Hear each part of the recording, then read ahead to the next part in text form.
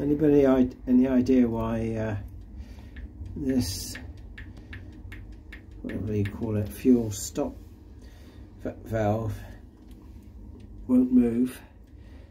It's not moving the rack. It's not supposed to go up to there.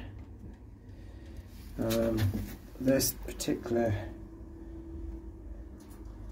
injector pump looks like it's had a lot of attention and isn't working. These don't seem to have been touched much in the years and this one on the end doesn't seem to be working.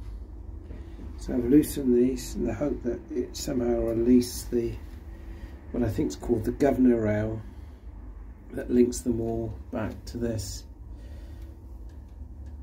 So anybody got any thoughts? Don't really want to have to take the housing end off and get the take off the pulley wheels. I really don't fancy any of that, especially as it's a tight space.